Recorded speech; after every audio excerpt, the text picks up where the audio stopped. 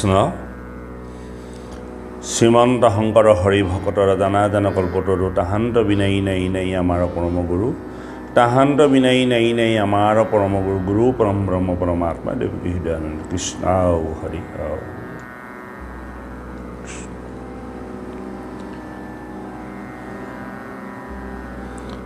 পৰম ভক্তিভাজন মোৰ আজন্মৰ সেৱাৰস্থলীৰ নৰনাৰায়ণ স্বৰূপ সমস্ত ভক্তিস্বৰূপ আইসকল উঠি অহা নৱপ্ৰজন্মৰ যুৱক যুৱতীসকল দিব্য আত্মাধাৰী কণ কণ শিশুসকলকে প্ৰমুখ্য কৰি সমস্ত জীৱ জগতৰ প্ৰতি শ্ৰদ্ধা আৰু সেৱা নিবেদন জনাই আমি ভাগৱত পাঠ আৰু পৰ্যালোচনা অনুষ্ঠান দি আগবঢ়াব বিচাৰিছোঁ। আজি আপোনাসৱৰ ওচৰত আমি এটি পাঠ লৈ আহিছোঁ।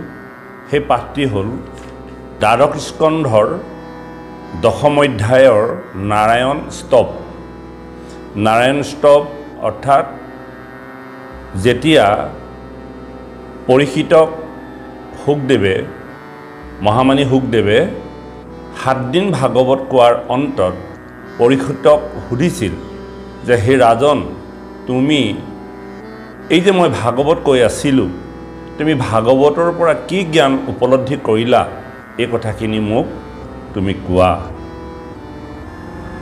শুকদেৱে তেওঁক প্ৰশ্ন কৰিছিল বহু ধৰণৰ পৰীক্ষিতক আৰু পৰীক্ষিতে খুব নিখুঁতভাৱে নিৰসংকোচভাৱে কৌশলগতভাৱে সেই প্ৰশ্নবিলাকৰ উত্তৰ দিছিল গুৰুদেৱৰ ওচৰত। যি প্ৰশ্নৰ উত্তৰ দিওঁতেও যাতে কোনো ধৰণৰ অহংকাৰ কোনো ধৰণৰ অভিমান নাহে এই কথাৰ ওপৰত লক্ষ্য কৰিছিল।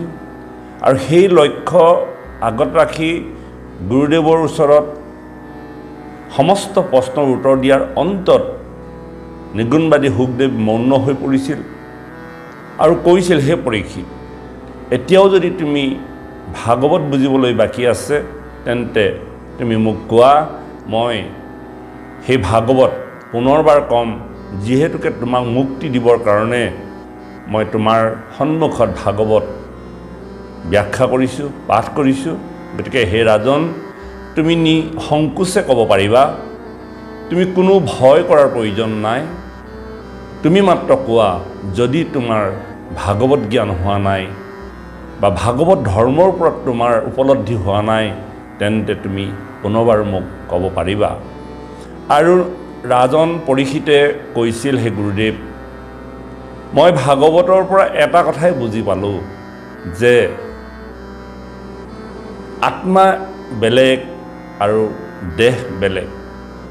দেহ আৰু আত্মাৰ মাজত পাৰ্থক্য আছে। গতিকে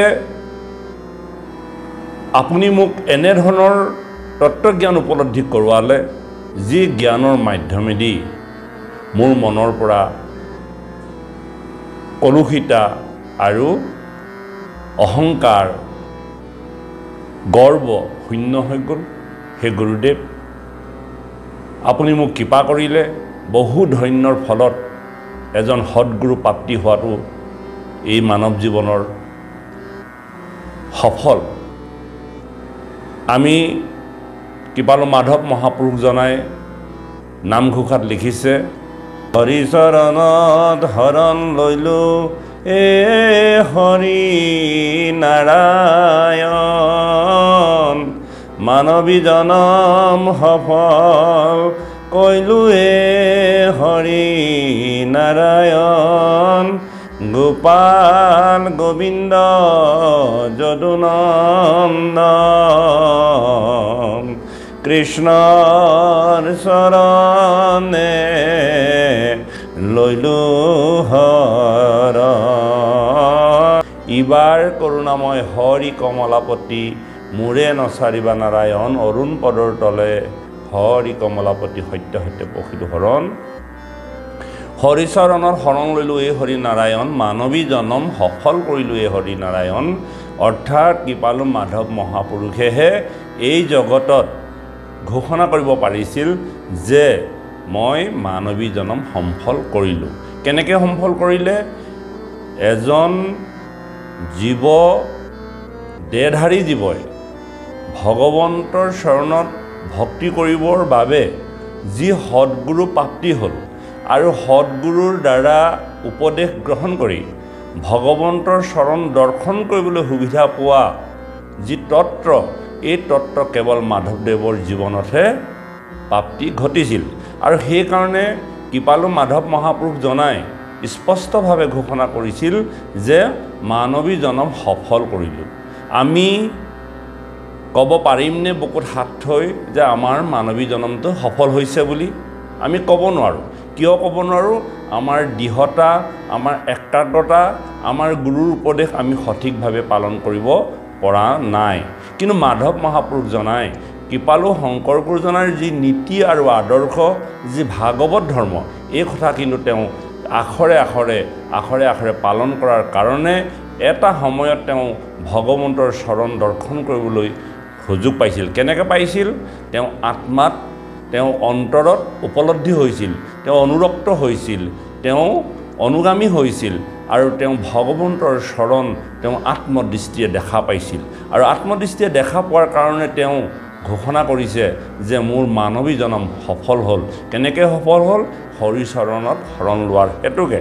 গতিকে আজি সেই পৰশিত ৰাজনৰো এজন নিৰ্গুণবাদী সুখদেৱ পৰম কৃপালু গুৰুৰ সান্নিধ্যত তেওঁ জীৱনৰ কল্যাণ হ'ল। তেওঁ অভিশপ্ত জীৱন আজি তেওঁ গতিপ্ৰাপ্তি হ'বৰ বাবে গতিপ্ৰাপ্তি হ'বৰ বাবে তেওঁ কি কৰিলে? গ্ৰহণ কৰিব পাৰিলে। গতিকে তেওঁ জীৱনত পূৰ্বতেই সংস্কাৰ জমা হৈ থকাৰ হেতুকেহে তেওঁ এনে এজন গুৰু সান্নিধ্য পাবলৈ সক্ষম হ'ল যদিও তেওঁৰ জীৱনত বহু ধৰণৰ মাৰ্গ আহিছিল যে গতিৰ কাৰণে সমস্ত গতি মাৰ্গক ত্যাগ কৰি কেৱল উত্তম মাৰ্গৰ দ্বাৰা তেওঁ জীৱৰ সদগতি প্ৰাপ্তি হ'ল। আৰু সেইকাৰণে আজি নিগুণবাদী সুখদেৱৰ আগত পৰীক্ষিত ৰাজনে কৈছে হে গুৰুদেৱ তুমি মোক কৃপা কৰিলা। তোমাৰ কৃপাৰ জৰিয়তে মোৰ সমস্তখিনি দূৰ হ'ল। মই বুজি পালোঁ আত্মা আৰু দেহ বেলেগ বস্তু। এই আত্মা দেহত মাত্ৰ থাকে। এই দেহৰ যি চৌবিছ তত্ত্ৰ এই চৌবিছ তত্ৰক জাগৃত কৰিবৰ বাবে। যিদিনাই আত্মা এই দেহৰ পৰা গুচি যাব আৰু সেইদিনাই এই চৌবিছ তত্ত্বযুক্ত দেহ নিথৰ হৈ অৰ্থাৎ জ্বৰ হৈ পৰি থাকিব। গতিকে আমি চৌবিছ তত্ত্বযুক্ত দেহক যি ধৰণে প্ৰাধান্য দি থাকোঁ সেই কথাটো আজি ভাগৱতে উপলব্ধি কৰিছে। গতিকে সেই পৰীক্ষিত সেই ৰাজন তুমি আৰু তোমাৰ দেহ বেলেগ হোৱাৰ হেতুকে তোমাক ঋষি সমষ্টৰ দ্বাৰা যি অভিশপ্ত তক্ষকে দংশন কৰিব তোমাৰ আত্মাক দংশন কৰিব নোৱাৰে কেৱল দংশন কৰিব তোমাৰ দেহটো। কিন্তু তোমাৰ দেহটোক দংশন কৰাৰ আগতেই তোমাৰ আত্মাৰ পৰমাত্মাত গতি কৰিব। কেলৈ গতি কৰিব? ঈশ্বৰৰ ওচৰত তুমি শৰণাপন্ন হৈ মন প্ৰাণ সপি দিয়াৰ হেতুকে তোমাৰ আত্মা পৰমাত্মাত লীন যোৱাৰ লগে লগে তোমাৰ দেহতহে তক্ষকে দংশন কৰিব। এতিয়া আমি সেই কথাখিনিকে পৰৱৰ্তী পাঠত কেনেকৈনো পৰীক্ষিতক তক্ষকে দংশন কৰিছিল বা দংশন কৰিলে? এই কথাখিনি আজি আমি পাঠটিৰ দ্বাৰা আপোনাসৱৰ মাজলৈ লৈ আহিছোঁ। এই পাঠটি দ্বাদশ স্কন্ধৰ দশম অধ্যায় যিটো পদ নাৰায়ণ স্তৱ এই নাৰায়ণ স্তৱতে পৰীক্ষিতক কেনেকৈ তক্ষকে দংশন কৰিছিল? পৰীক্ষিতৰ ৰাজসভালৈ তক্ষক কেনেকৈ আগমন ঘটিছিল? ৰাস্তাত কি ঘটিছিল? আৰু কেনেধৰণেনো তক্ষকক পৰীক্ষিতৰ ওচৰলৈ যাবলৈ দিয়া হৈছিল। এই সমস্ত কথাখিনি একত্ৰ কৰি আপোনাৰ সবৰ মাজলৈ আনিছোঁ। আমি যি পদ ইয়াত পাঠ কৰা হ'ব আমি বহলভাৱে বিভিন্ন কথাৰ মাজলৈ নগৈ কেৱল পদৰ লগে লগে কথাখিনি কৈ যাবলৈ যত্ন কৰিম। যিহেতুকে পাঠটি যদি আমি পদৰ মাজেদিয়ে কথাখিনি কৈ যাওঁ খুব সোনকালে বুজিবলৈ সুবিধা হ'ব। আহকচোন আমি পৰৱৰ্তী পদে আমাক কেনেধৰণে উপদেশ প্ৰদান কৰিছে? দশম অধ্যায় পদ নাৰায়ণ ষ্টপ। কহে সুত শুনিও হৌ নকম ভাগ। ঋষি সাপ শুনিয়া তক্ষ কম। নাগ। আপোনাৰ নিজ ৰূপ তেজিয়া নিশেষ ৰাজা কদংশী বেয়া হৈ ধৰিবি প্ৰবেশ কাশ্যপ ব্ৰাহ্মণ হমে ভয় লয়ে কথাই। তান্ত কথা সোধে অঘ ধৰ গন্ধ পাই। ইতিমধ্যে পৰীক্ষিতৰ জীৱনত যি সাতদিন পৰমায়ু আছিল সেই পৰমায়ু শেষ হৈ আহি আছে। আৰু ঋষি ব্ৰহ্ম অভিশাপৰ মতে সাতদিনৰ অন্তত তক্ষকে দংশন কৰিব।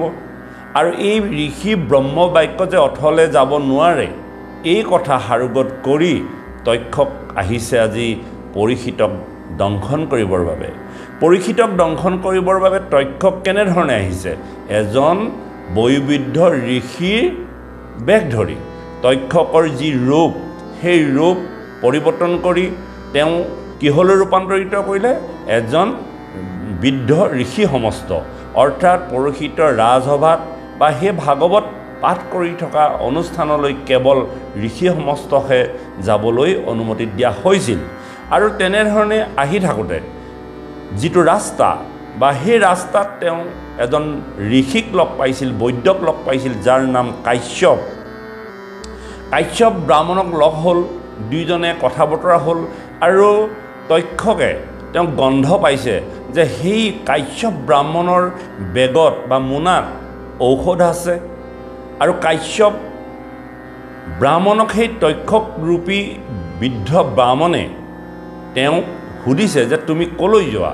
তেতিয়া কাশ্যপ ব্ৰাহ্মণে কৈছিল যে ইতিমধ্যে সাতদিনৰ অন্তত তক্ষকে পৰীক্ষিতক দংশন কৰিব আৰু সেই পৰীক্ষিতক মই মোৰ বেগত থকা ঔষধ আৰু মন্ত্ৰৰ দ্বাৰা মই পৰীক্ষিতক জীয়াই তুলিম।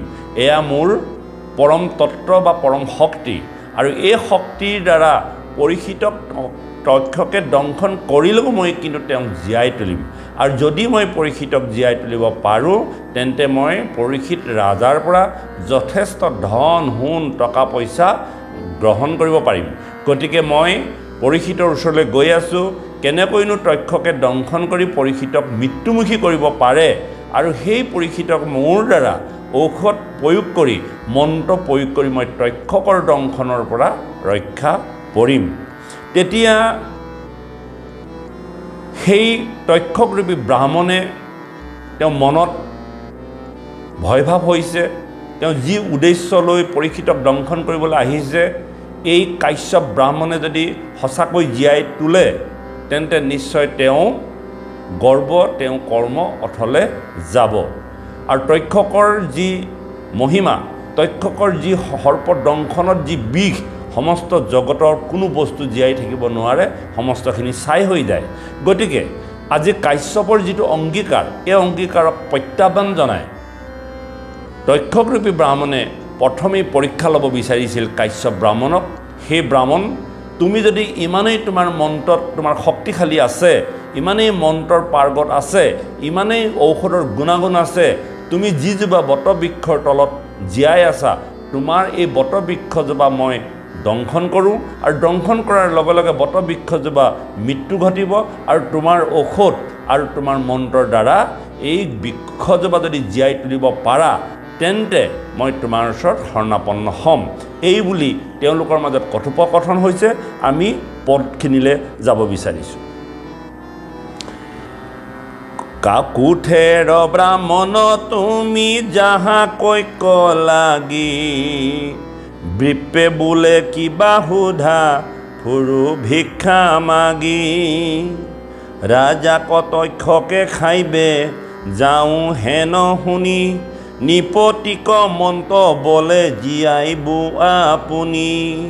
দুইজনে দুইজনৰ মাজত যেতিয়া তেওঁলোকৰ জীৱনচৰ্যাৰ কথা সোধা সুধি হ'ল বিপ্ৰে ক'লে যে মই ভিক্ষা মাগি খাই ঘূৰি ফুৰোঁ আৰু তক্ষকে দংশন কৰিব বুলি ৰজাক যিটো খবৰ আমি শুনিছোঁ তেওঁক যদি কেনেবাকৈ জীয়াই তুলিব পাৰোঁ নিশ্চয় মই মই ভিক্ষা কৰি খাব নালাগে মই ৰজাৰ পৰা যথেষ্ট ধন সোণ পাম বুলি ভাবি মই তক্ষকৰ দংশনৰ পৰা ৰজাক বচাবৰ বাবে গতি কৰি আছোঁ। পাইব বহু বিত মূৰ হৈবে দুখ দূৰ। হেন শুনি সংগীল তক্ষক মহাকুৰ চকু পকাই চাই কাশ্য পক বোলে মাতি কিনো তই লোভিয়া ধ মহদিজ জাতি। এই কথা শুনি তক্ষকৰূপী সেই ব্ৰাহ্মণৰ অন্তত ক্ৰোধ জাগিছে খং উঠিছে। হেৰ' ব্ৰাহ্মণ তই কেনেকুৱা লোভিয়া অধম দিছ তই এনেকুৱা তোৰ মনৰ ভাৱনা এনেকুৱা চিন্তা লৈ তই ব্ৰাহ্মণ ৰূপেৰে তই মন্ত্ৰ কৰি ৰজাৰ পৰা ধন ধন পাম বুলি তই যি ইচ্ছা কৰিছ এয়া তই লম্পট তোৰ লোভিয়া অধম দিছ বুলি তেওঁক মনত ভাবি পেলাই তেওঁক গালি পাৰিছে আৰু চক্ষু পকাই ধৰিছে। আৰু কৈছে কি তক্ষকে খাই বেক জাক তাকো কৰ সাহ দংশুবত বৃক্ষ দেখোঁ কিমতে জীয়াহ। কাশ্যপে বুলন্ত দম্ভ নকৰিবি সৰ্প বুজু দংশ বতক ভাঙিব তোৰ দৰ্প। কাশ্যপ ঋষিয়ে কৈছে হেৰৌ তক্ষকৰূপী ব্ৰাহ্মণ। কাশ্যপেও তেওঁক চিনি পাইছে যে তেওঁ তক্ষকে ব্ৰাহ্মণৰূপী হৈ আহিছে। যে হেৰা তুমি যিটো দৰ্ব অহংকাৰ কৰিছা তোমাৰ সেই দৰ্ব অহংকাৰ মই নাশ কৰি দিব পাৰোঁ। তুমি চাব পাৰা মোৰ মন্ত্ৰ আৰু মোৰ ঔষধৰ গুণাগুণ কিমান মহৎ। গতিকে আৰু কাশ্যপে সেই বুলি কোৱাৰ লগে লগে তক্ষকে কৈছে তোৰ যদি ইমান তত্ত্ব আছে মন্ত্ৰৰ তোৰ যদি ঔষধৰ ইমান গুণাগুণ আছে তেন্তে তই মই বটবৃক্ষজোপাক দংশন কৰি দিওঁ আৰু সেই বটবৃক্ষজোপা তই জীয়াই তোল। শুনি নিজৰ ৰূপে কোপে নাগ মহাবলী দিলে খুট বটত অগণি গৈল জ্বলি। বিষ বনি লাগিব বিষ ভৈল চাই। আছিল সৰিয়া তাৰো ভস্ম ভৈল কাই। এই বুলি কৈ সেই তক্ষক ৰূপী ব্ৰাহ্মণে তক্ষক ৰূপ ধাৰণ কৰি বটবৃক্ষক তেওঁ সমস্ত বিষ ঢালি দিলে আৰু লগে লগে বটবৃক্ষ ছাই হৈ গ'ল। সমস্ত বটবৃক্ষ নিমিষতে শেষ হৈ গুচি গ'ল। আৰু এতিয়া সেই কাশ্যপ যি বৈদ্য ঋষি তেওঁ কি কৰিছে? জীয়ায়ো তক্ষকে বোলৈ দেখোঁ মুনি হাই দিজে থৈলে বুকুন দিক কাষৰ নমাই। কোন চাই আনি চাইক হবে একথা নকৰি। পঢ়িবে লাগিলা মন্ত্ৰ গুৰু কহো মৰি। দিলন্ত ঔষধ আনি বজাই ল অংকুৰ অদালে মোলে পাতে বৃক্ষ ভৈল ভৰিপুৰ। জিলে কখৰীয়া আছে হাততে অংকুশ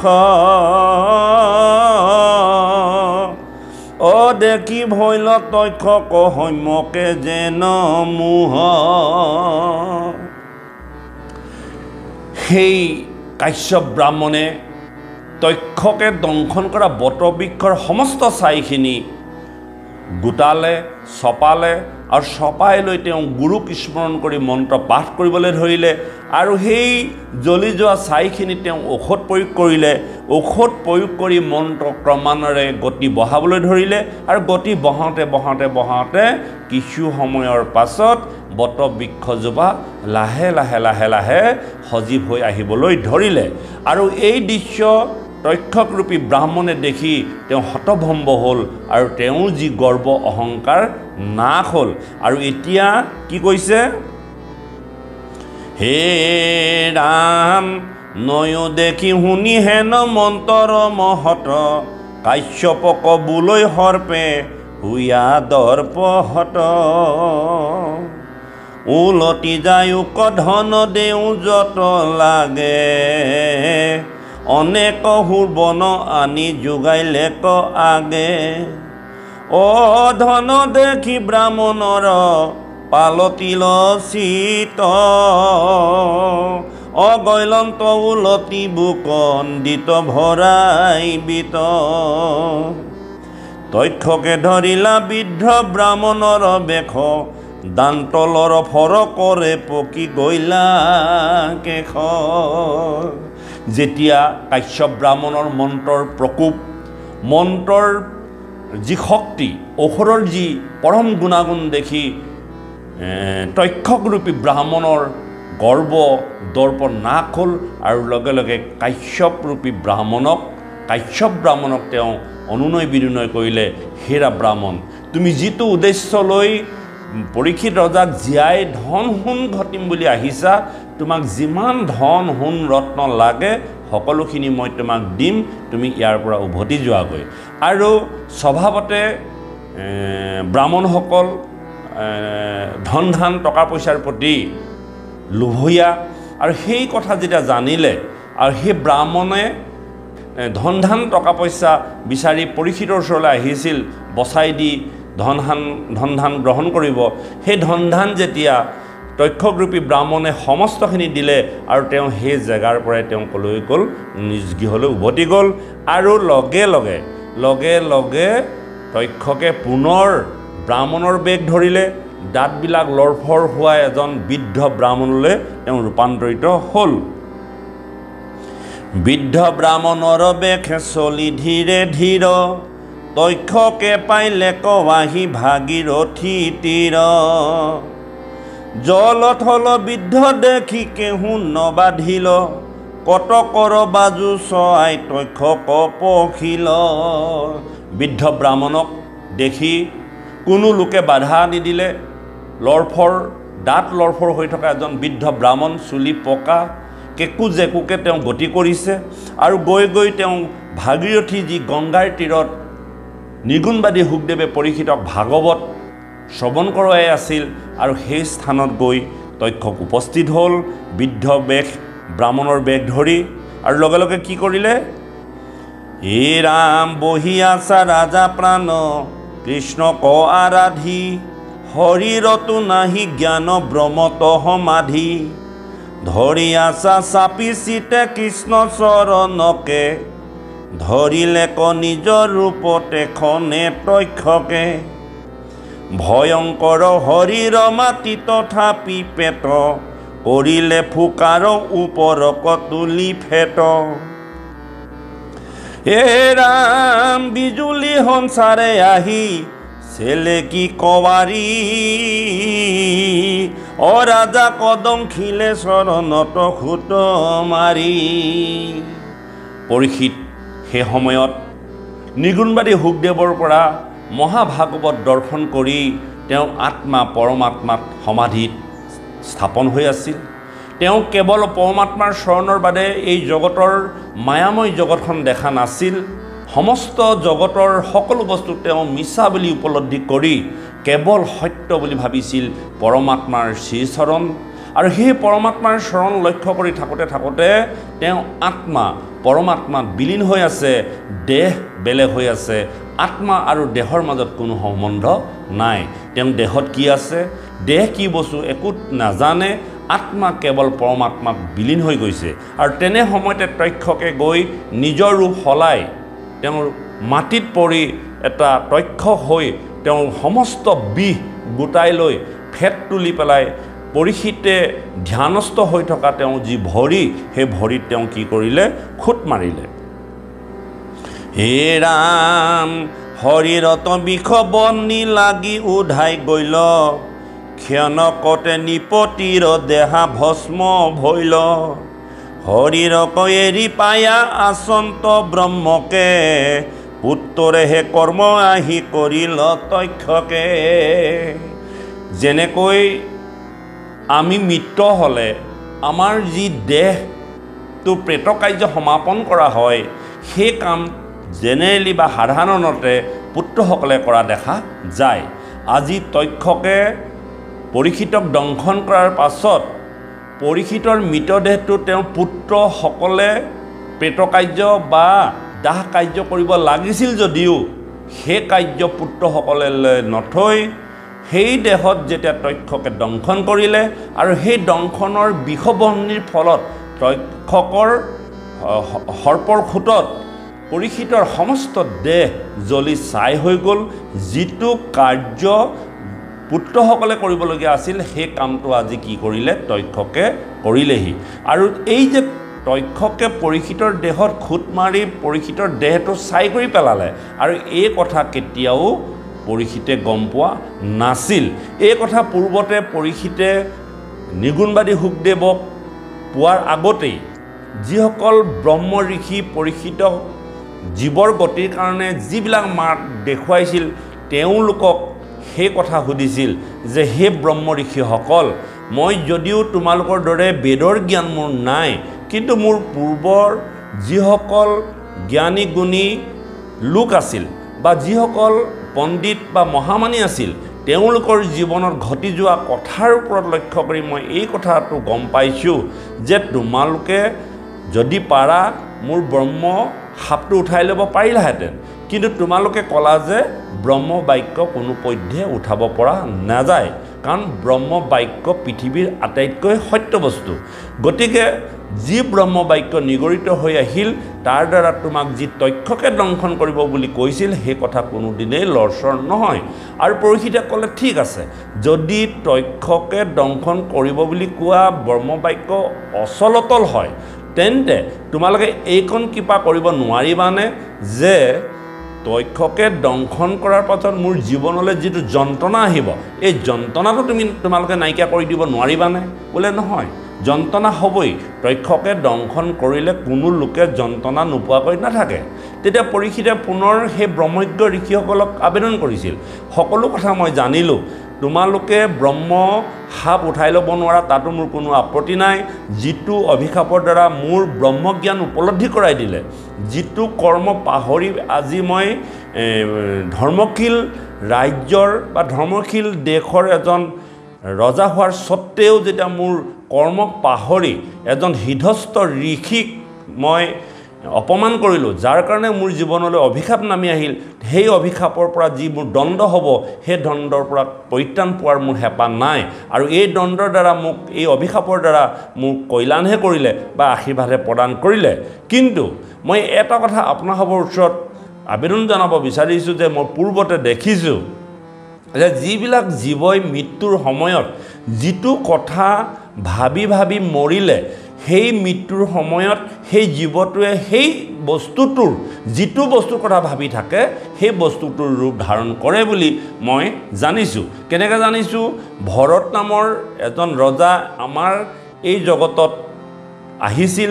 তেওঁ সন্ন্যাস ধৰ্ম গ্ৰহণ কৰি বনলৈ গৈ তেওঁ হৰিণা এটা প্ৰতিপালন কৰি মৃত্যুৰ সময়লৈকে হৰিণাটোৰ মৰম চেনেহত থাকি মৃত্যুবৰণ কৰিব লগাৰ কাৰণে তেওঁ পিছৰ জন্ম হৰিণা হৈ জন্মগ্ৰহণ কৰিব লগা হৈছিল। গতিকে মই যদি তক্ষকৰ ভয়ত বা তক্ষকৰ দংশন কৰাৰ ভয়ত থাকি থাকি থাকি থাকি যদি মোৰ জীৱটো ওলাই যাবলগীয়া হয় তেতিয়াহ'লে মই পিছৰ জন্মটো তক্ষক হিচাপে জন্মগ্ৰহণ কৰিব লাগিব। গতিকে সেই ব্ৰহ্ম ঋষিসকল সেই জ্ঞান বয়োজ্যেষ্ঠসকল আপোনাৰভাৱে মোক এইকণ কৃপা কৰক যাতে মই মৃত্যুৰ সময়ত যাতে তক্ষকডাল নেদেখাকৈ থাকিব পাৰোঁ। তেতিয়া সেই ঋষিসকলে কৈছিল যে তোমাৰ অভিশাপৰ পৰা মুক্ত নহ'লেও আক্ষেপ নাই তক্ষকে দংশন কৰিলেও যিটো যন্ত্ৰণা আহিব তাতো তোমাৰ আক্ষেপ নাই কিন্তু তক্ষকডাল দেখা আৰু নেদেখা কথাটো তুমি যি যুক্তি প্ৰদৰ্শন কৰিলা এই কথা নিগুণবাদী সুখদেৱে তেওঁ প্ৰশ্নৰ উত্তৰত কৈছিল সেই পৰীক্ষিত তুমি যেতিয়া প্ৰকৃত ভাগৱত শ্ৰৱণ কৰিবা আৰু ভাগৱত শ্ৰৱণ কৰি কৰি কৰি কৰি তোমাৰ আত্মা যেতিয়া পৰমাত্মাত বিলীন হৈ যাব তেতিয়া তোমাৰ দেহত তক্ষকে যে দংশন কৰিব এই কথা তোমাৰ উপলব্ধিয়ে নহ'ব। তুমি তক্ষকক দেখিয়ে নাপাবা। কাৰণ তোমাৰ আত্মা ইতিমধ্যে দেহৰ পৰা ওলাই পৰমাত্মাত বিলীন হৈ যাব। আৰু পৰমাত্মাত বিলীন হৈ থকাৰ পাছত তোমাৰ এই দেহ যদিও তোমাৰ দেহ হিচাপে থাকিবা এই দেহটো কিন্তু জড়পায়ী হৈ থাকিব। এই কথা নিগুণবাদী সুখদেৱে পৰীক্ষিতক আশ্বস্ত কৰাইছিল। আজি সেই কথাটোকে কৈছে যে পৰীক্ষিতৰ দেহটো জ্বলি যোৱা যি পেটকাৰ্য সেই পেটকাৰ্য পুত্ৰই কৰিব লগা আছিল যদিও আজি তক্ষকে পৰীক্ষিতক দংশন কৰি এইকণহে কৃপা কৰিলে যিটো কৰ্ম বা যিটো দেহ পুত্ৰই কৰিব লাগিছিল সেই কামটো কিন্তু আজি তক্ষকে কৰিব লগা হ'ল। কিন্তু তক্ষকে প্ৰকৃতাৰ্থত পৰীক্ষিতৰ আত্মাক দংশন কৰিবই নোৱাৰিলে। মাত্ৰ এৰি যোৱা সেই দেহ যিটো জড় দেহ সেই জড় দেহটো মাত্ৰ চাই কৰিবলৈহে তক্ষকে আহিলে। কাৰণ ব্ৰহ্মবাক্য অথলে নাযাব আৰু ব্ৰহ্মবাক্য হ'বৰ কাৰণে সেই দেহটোতে তক্ষকৰ বি ঢালিলে সেই কথাও সত্য ৰৈ গ'ল। আৰু পৰীক্ষিতক ভাগৱত শ্ৰৱণ কৰোৱাই তেওঁ আত্মা যে পৰমাত্মাত বিলীন হ'ব পাৰে এই কথাও আজি ভাগৱতৰ দ্বাৰা প্ৰমাণিত হ'ল। এতিয়া কি হ'ল? দেখি দখো